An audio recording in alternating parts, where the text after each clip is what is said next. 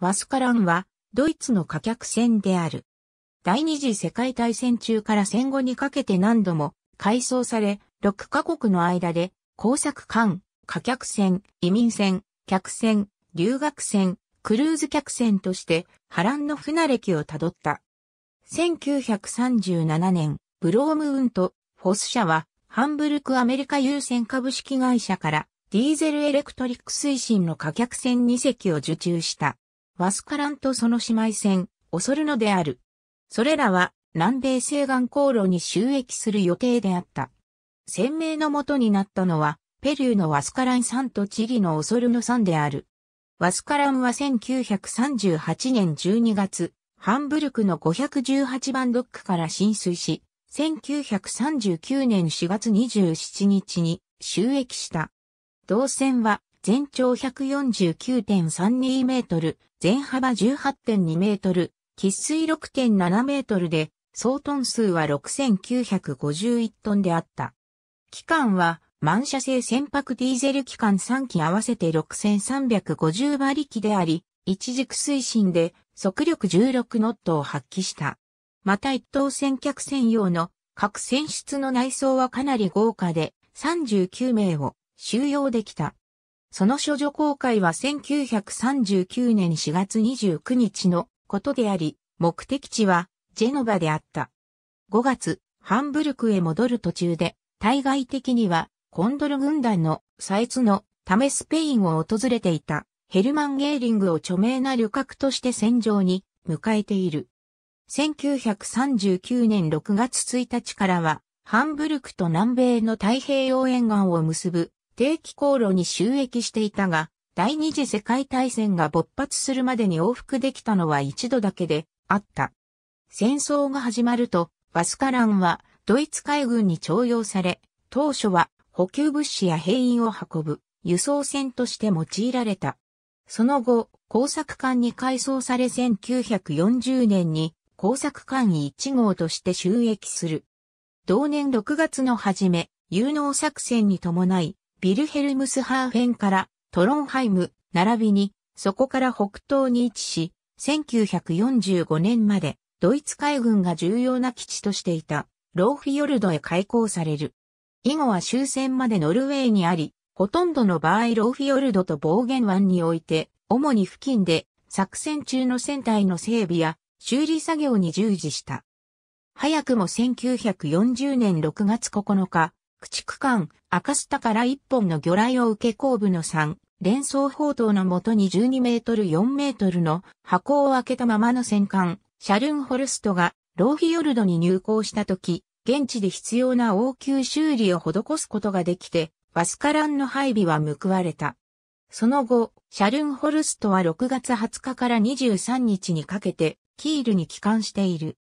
それから間もなく、戦艦、グナイゼナウも6月20日に潜水艦、クライドの魚雷で、大きな損害を受け、6月25日にキールで入居する前にローフィヨルドでバスカランから応急修理を受けなくてはいけなくなった。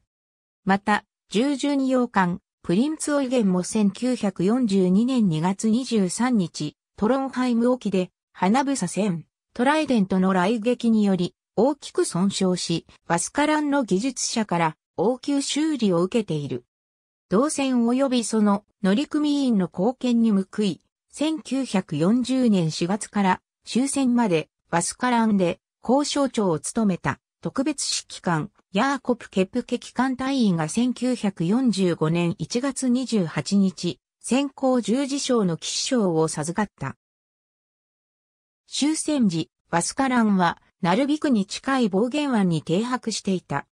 1945年5月15日、同艦は他の水上艦4隻及び U ボート15隻から構成される艦隊に加わり、ナルビクからトロンハイムに向かう。この艦隊はイギリス海軍の第9護衛軍に補足され、正式に降伏した。U ボートと補給艦、ケルンテンはスコットランドへ回航された一方、他の水上艦船4隻はすべてトロンハイムへの航行を許可される。同地でバスカランは他の部隊と共にオーセンフィヨルドの分岐の一つ、ローフィヨルドに収容された。1945年11月、ワスカランは1941年に撃沈されたビーバーブレイを補填する賠償艦としてカナダの戦時資産公社に引き渡された後、同社が運営するパーク汽船公社に譲渡された。同船は1947年4月以降、リバプールで修理を受け、元の貨客船に再改装されると、同年6月にモントリオールへ開港され、北アメリカ運輸社に割り当てられた。その時点では、カナダの商船隊が保有する最大の船であった。1947年9月2日、同船は海運会社のカナダ太平洋汽船会社に提供され、以後はドイツとカナダの間で発生した、いわゆる避難民のための移民船として収益し、28日間で両国を往復した。ビーバーブレーの特徴は、西ドイツからカナダに旅客を運ぶ一方、ドイツへ向かう際には純粋な貨物船として運用されたことにある。大きな戦争のうち、一つだけはカナダへ航行する時に客室として整備され、東へ向かう際には再び船蔵として使用されたので、ある。1948年2月、ビーバーブレーは移民船として初の航海に出港。貨物を積んでセントジョンからロンドンへ行き、そこからさらに移民の乗船地であるブレーマーハーフェンに寄港してカナダに帰る運航を1951年まで継続した。後期の運航では貨物はすべてアントワープで降ろされるようになり、1951年以降は移民の乗船地がブレーメンになった。船会社は避難民を募集し、選別し、ブレーマーハーフェンへ運ぶ国際難民機関及び CCCRR に協力した。同地でカナダの管理は潜在的な入植者の健康や危険の有無を見分し、必要な書類を交付した。どの航海でも500名から700名が運ばれ、そのおよそ5分の1が子供であった。カナダに到着すると、英語を話せる者がほとんどいなかった入植者の一人一人に目的地を記した身分証が渡される。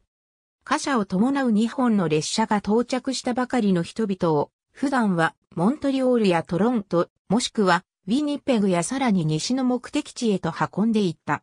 その際、客車には一両ごとに別の行き先が割り当てられていた。すべての列車には、厨房車1両、食堂車2両合わせて3両の特殊車両が加わっており、そのうち1両は夜間、乗務員の寝室として使用された。1954年7月28日、移民船、ビーバーブレーは、ブレーメンから最後の航海に出る。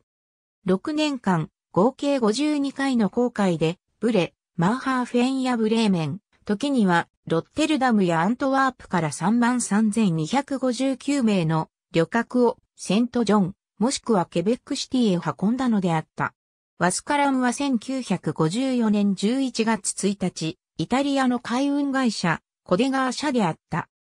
同評議会との契約に基づき、アウレーリアは1960年の夏、ブレーメンとニューヨークを初めて往復すると1969年9月まで年に3回から4回、合計34回にわたってニューヨークとイギリス海峡のサウサンプトン及びルアーブルを就航し、学生を運んだのである。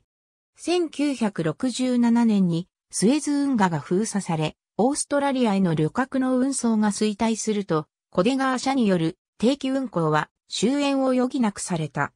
アウレイリアは1968年9月23日、ロッテルダムから最後のシドニー行きの航海に出る。シドニーからの最終便として出港したのは、同年10月29日のことで、往路と袋のどちらでも、希望峰を通過する進路を取った。帰還後、旅客の収容人数を470人にまで抑えた、クルーズ客船へと改装される。1969年には、サウサンプトンからマデーラ島へ向かう新しい便に収益したが、顧客の関心は低く、同島への後発便は5月にキャンセルされている。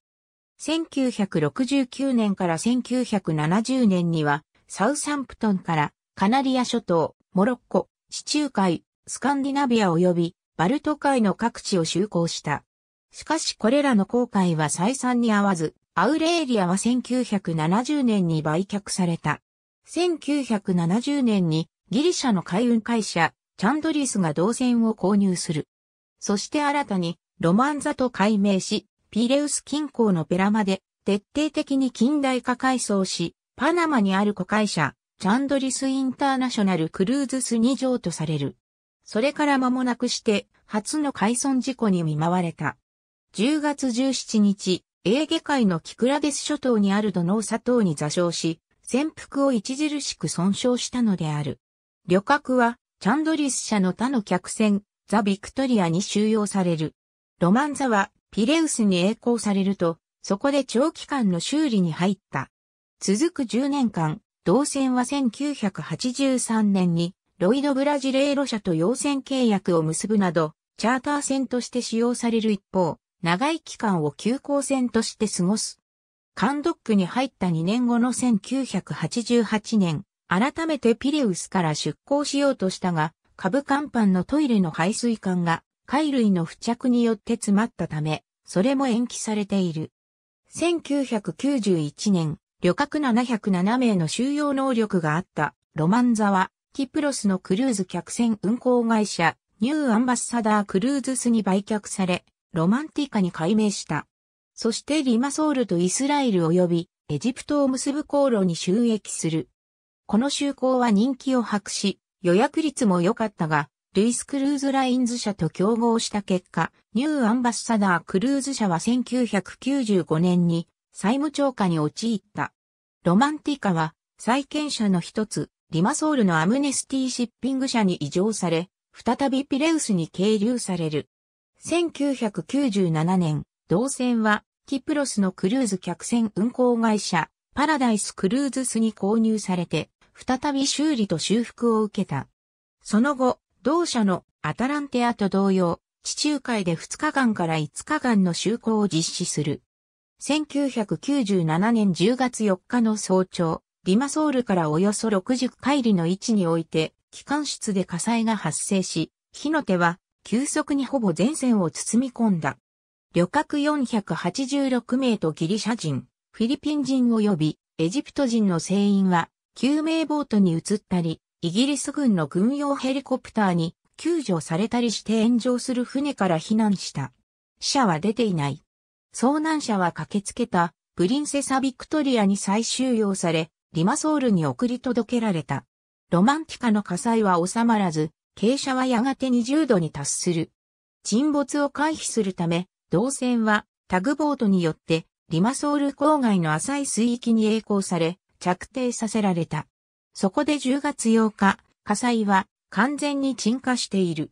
1998年4月、配線は解体のためエジプトのアレクサンドリアに栄光された。